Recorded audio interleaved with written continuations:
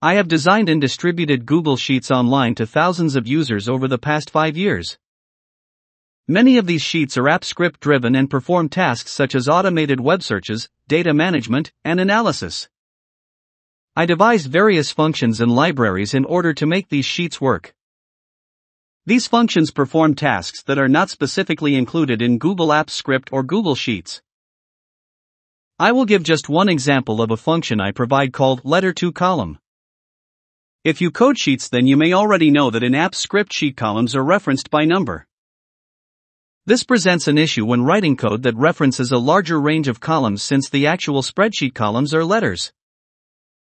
The column TO letter and letter TO column functions solve this issue as they convert column numbers to letters and vice versa.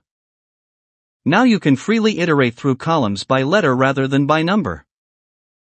For example, consider writing a loop to iterate columns AA through AG. Normally, you would have to figure out the number for AA and AG. But with this function you can immediately set your for loop as seen below. For var call equals letter to column AA, call equals letter to column AG, call plus plus. If you are developing Google Sheets for your own business or others, functions like these will be helpful to you. But rather than spending time creating functions like this, just copy and reuse the code I have already provided. This is just one example of functions that perform simple but useful tasks in app script coding. However, I have plenty more ranging from simple to more complex. I also have complete spreadsheets created for specific purposes to help individuals and businesses.